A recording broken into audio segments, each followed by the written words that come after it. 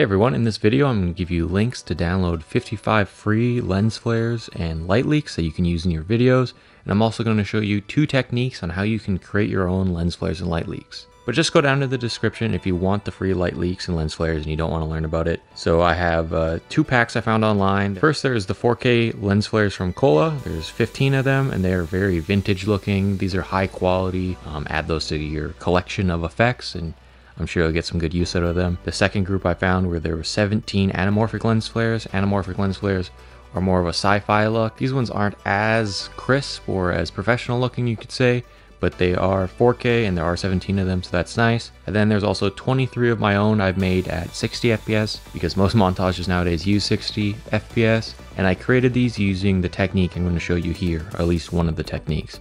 So let's get into how you can create your own lens flares and light leaks. The first technique is using your camera and all you have to do is find a glass around your house, usually one that's shaped pretty cool because you're going to use this glass to reflect and refract light. But what we do is we place that in front of the camera and we change the camera's focus to infinity, which means everything is blurry, basically everything's out of focus.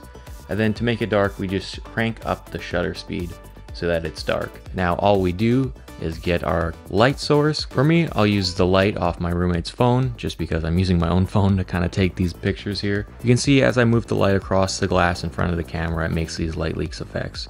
Now these aren't super high quality and professional like the ones down in the description, but this is just a quick way you can do it. And if you have a lot of cool glasses and maybe you can change the color of your light, you can play around with making some of your own like this. A word of warning, you need to be very still and smooth with your movement but you can get some cool effects, especially if you're going for some more uh, crazy montages. The next way to get more subtle lens leaks is actually in After Effects. I'll walk you through it. We create a black solid, so make sure you have obviously a composition with the frame rate you want and the, the resolution you want. On that black solid, we're gonna go Effect, Fractal Noise.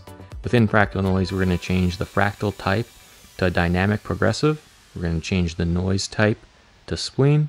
We're going to up the contrast to 220. You can really play around with it, but these are just some rough numbers.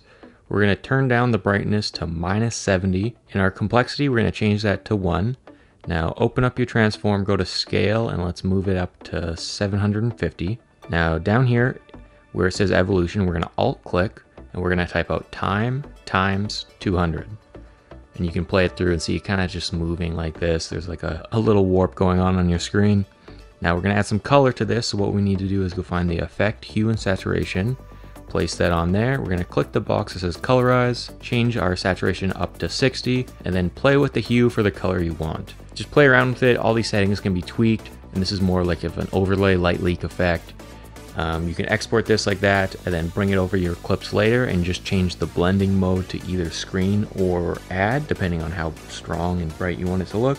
But it's super easy and it's a nice starting place. You can play with it from there. Hopefully this has been useful and you can add all of these lens flares to your effects folders and maybe get some good use out of them or create your own. So hope you guys enjoyed and have a good one.